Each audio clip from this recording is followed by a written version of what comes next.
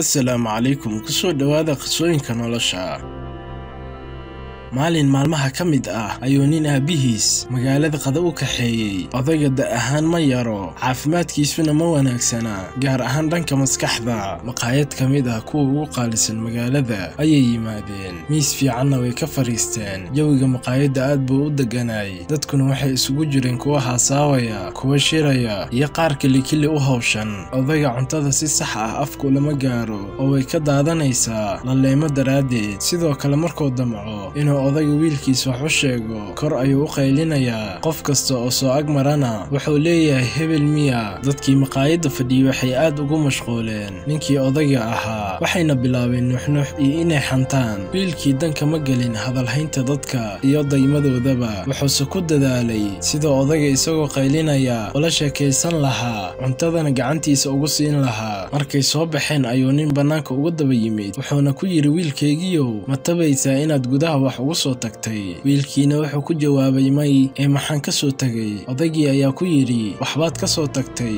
weliba wax weyn cashar baad ka soo tagtay iyo farriin aad u dirtay dhammaan. Dadkii daawanayay qadadiina waxaana dadka dareensiisay cidda ay tahay in la raaligeliyo waxaad la qosilaysay. Markay dadku dhibsanayeen hadalkiisa waxaad ka tiraysa qoyaanka cuntada markay ayaga ku yaqyaqsoonayeen waxaad xasuusisay in ay jirta wakhti oo gacanta kugu haayay sidaasna aad u xadaaqaysay mar aadan kale aqoon dadka midka ehelkaaga iyo kan kale. Daryeel raaligeli xusuuso dhegayso oo u dhowow mar kasta. Kuwii kuu dhowaa markaad u baahnayd kuwii ku xanaaneeyey kuu dulqaatay kuna soo koriyey adiga. Wax kasta oo aad ahaydna doortay inay kaa dhigaan. Qof asaagiisa wax la qaybsada meelna iska soo saara. Kuwaas ayayna tahay inaad u damqato oo aad raaligeliso fadlan haddii aad qisadan wax ka faa'iiday inoogu reeb dhanka kommentiga